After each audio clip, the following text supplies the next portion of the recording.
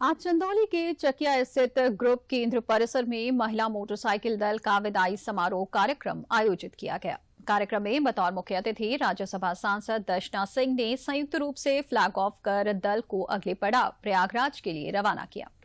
Flag of समारोह में documentary द्वारा सीआरपीएफ में तैनात महिला कर्मियों के शौर्य और वीरता से संबंधित वीडियो का प्रदर्शन किया गया। अपने संबोधन में राज्यसभा सांसद दर्शना सिंह ने दल के कार्यों की सराहना करते हुए प्रधानमंत्री द्वारा महिला सशक्तिकरण के लिए चलाए जा रहे कार्यक्रमों पर प्रकाश डाला। उन्होंने कहा कि देश को विकसित राष्ट्र बनाने में आधी आबादी की महत्वपूर्ण भूमिका होगी। इसी को ध्यान में रखते हुए प्रधानमंत्री के नेतृत्व में हमारी सरकार द्वारा महिला आरक्षण बिल को सर्वसम्मति से पास किया गया है।